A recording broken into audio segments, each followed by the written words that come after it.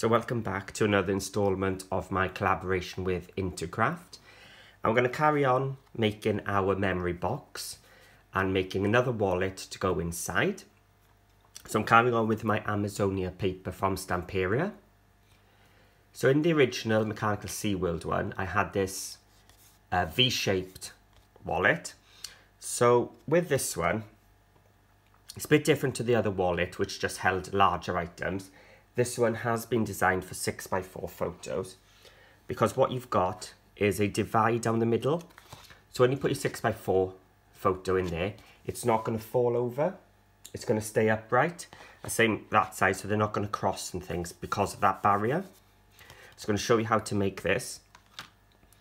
So again, this is going to make the most out of a nice big designer piece. So this got this large image of the toucan. So that's why I've gone for this one. And I'll show you later how I'm going to make the most out of the paper to get that toucan onto our wallet, but also have some extra strips which we can use elsewhere. So to make this, again, I've got my 220 black GSM cardstock and my trimmer. So I've got two sheets. The first one is to cut the base. And again, it's going to be the same as the other wallets to make the most of that size again um, for those 6x4 photos. So it's going to be 9 inches. We have the long bit.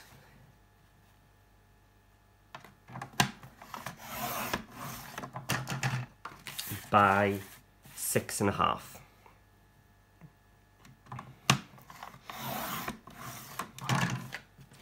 So that will be the base of my wallet. Then I'm going to make the pocket. So with the pocket, I need it to be five and a half.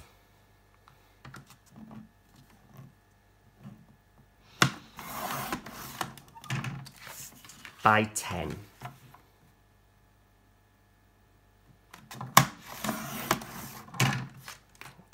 So it's just those two pieces. Now it's going to bring in my scoreboard. Now that 9 inch one I don't need to do anything with. But with this one, I'm going to do my standard pocket thing of half an inch down two sides. So for this one, it's the short sides and half an inch down the long one. But I'm not finished with my scoreboard yet for this one. So I'm going to put it back in here with a long bit on the top. And I'm going to go to my halfway mark, which is 5 inches. And I'm just going to do a bit of a deep score there. And then just lightly go down the rest. So I've marked where my 5 inch one is, just to make it easier to see and then just a light press down. That's just going to help me line up my uh, divider. Oh, and talking of the divider, I didn't cut the pieces, did I? So from the scrap pieces that came out, I'm just going to cut it at one inch.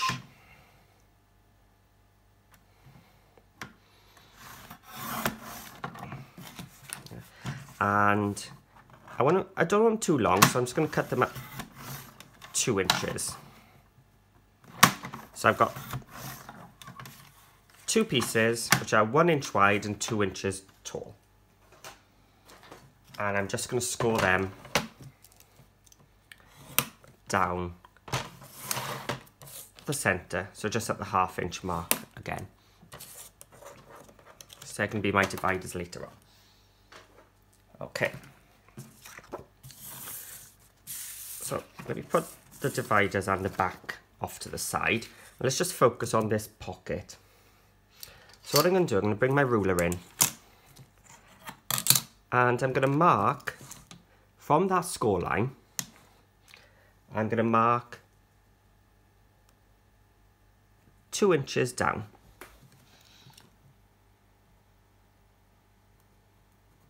So there it is. So I'm on that score line so I started off deep, then I've got the sort of faint line there, so I know it's on my center line. And what I'm going to do is, can you see I've done a little cross on there? I'm going to go from that score line out to meet that half inch one from there. So this is what's going to make my V. So I'm not going to the corner, I'm going to that score line.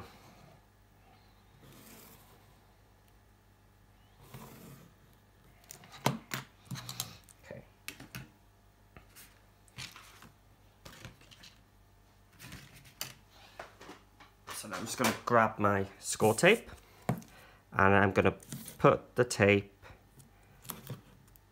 in side that half inch. Let's not waste that bit. There we have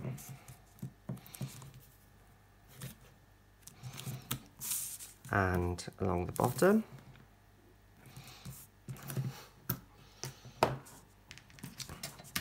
And just like I do with any other pocket, where those cross, I'm going to come in at 45 degrees towards that cross. And rather than going straight, I'm just going to tilt my scissors slightly just to make a bit of a sharp angle. So when they come together, they won't cross. And on the top, just miter it off a little bit there.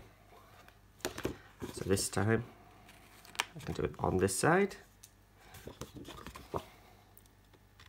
So again, towards the cross, angle slightly, and cut away. Just grab my larger scissors. We're now just going to cut that V shape.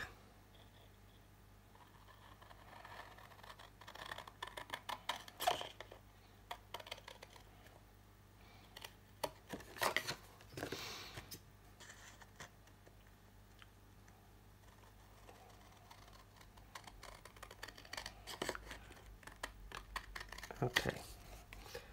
And our pocket is cut, so let's just score them backwards now.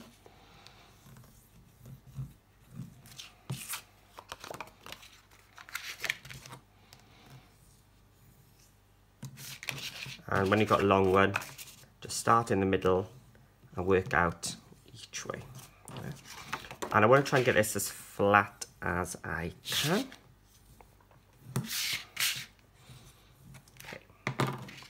So that's my pocket. So I'm going to turn it face down. And now I'm just going to put these dividers. Now remember, now this is optional. You don't have to do this.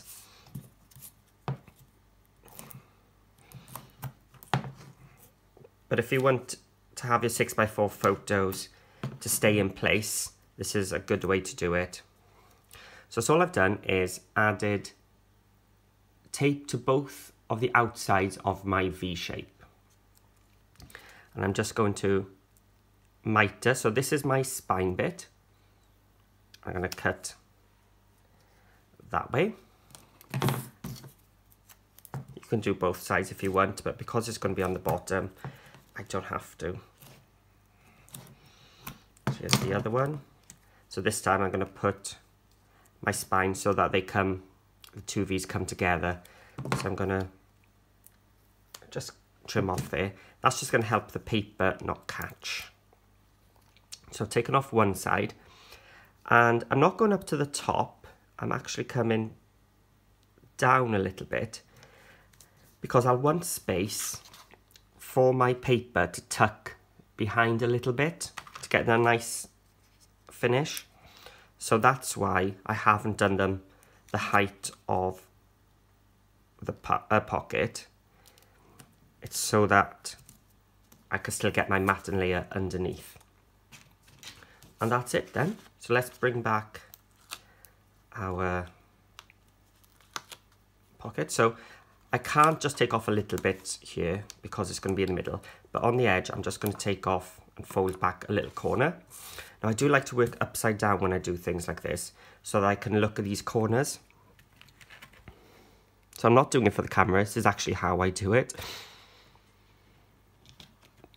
Now if you struggle with this, what you can do is bring in your scoreboard and if you put your back piece right up, what you can do is just line up your pouch and that can help you to line up your pouches if you want. And then remember now that middle is already attached so I've got to be a little bit more careful. Wait I've got two bits here haven't I? There we go.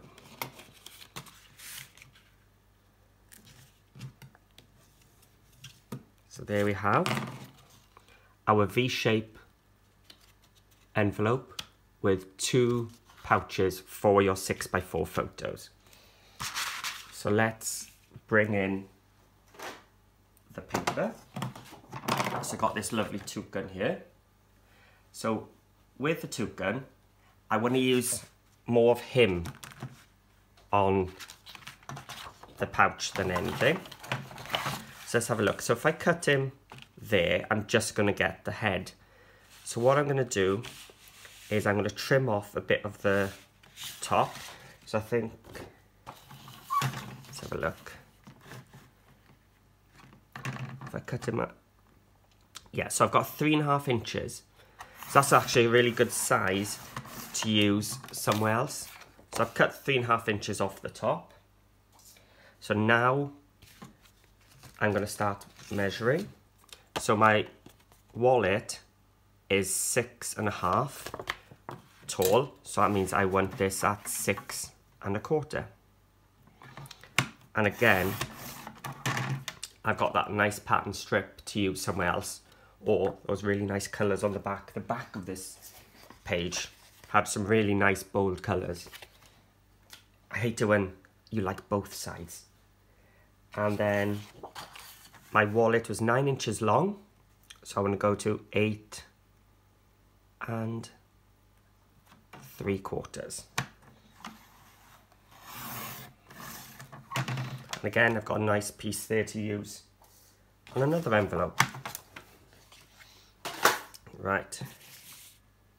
Okay, so I've got my toucan ready. So I'm going to zoom in a little bit on him so you can see my measurements a bit better. So here's my wallet. Now, my wallet's got a bit of an overlap here before my pouch starts. So that distance from the top to the start of the pouch is one and a half inches. So with my toucan piece, what I'm going to do is mark one and a half inches down each side. There's one. And two. Okay, so I've come down one and a half each way. Now, I'm using my envelope to mark my center, just in case I was off a little bit when I measured it. So I've got a bit of black this side and this side, and I'm just going to mark where my V began. Okay, so it's there. And the distance from the top of my envelope to the bottom of my V is three and a half inches. So I'm going to duplicate that on my toucan piece as well. So three and a half inches would be there. There we are. And I'm just going to now join up those pencil lines. So there it is there. And there.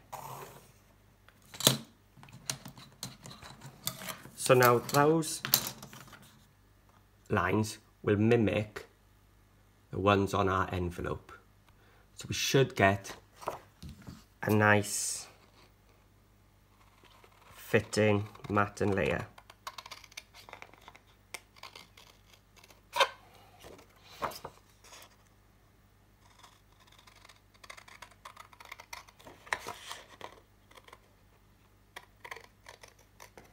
Be careful because I've only got the one sheet. So let's bring it in. And there we have our toucan still in one uh, piece, so we're making the most out of our images, and a nice matte and layer. So I'm just going to bring my black distress ink,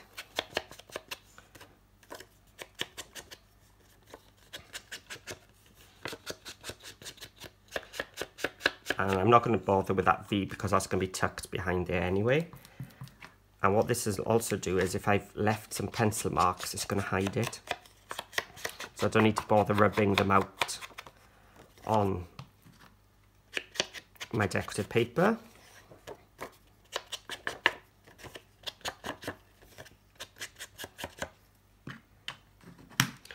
But I am going to rub them out on that V. Bring in my glue.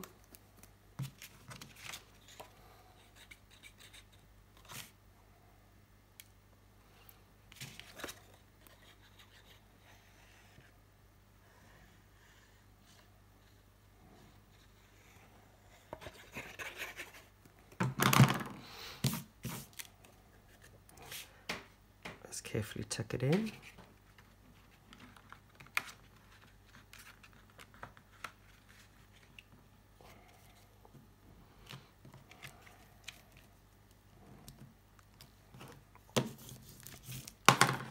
And then the V-shaped one. You can see what I was saying about the back of this one. It's like, why couldn't this have been on the back of one of the ones I was and has keen on?